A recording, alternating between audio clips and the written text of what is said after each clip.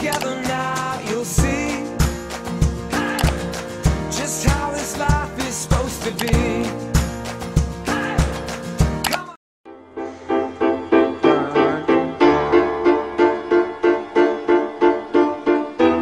Day 2 and the SailGP team have reorganised and adapted after the crash at the start of race 3.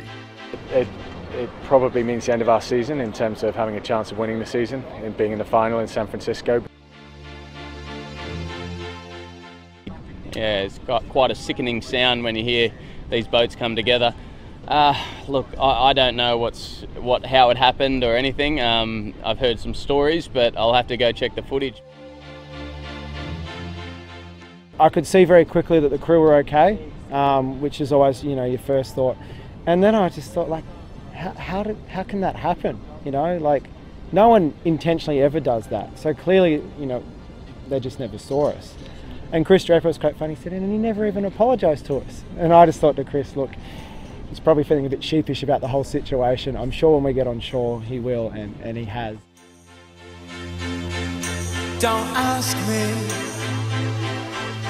what you know is true.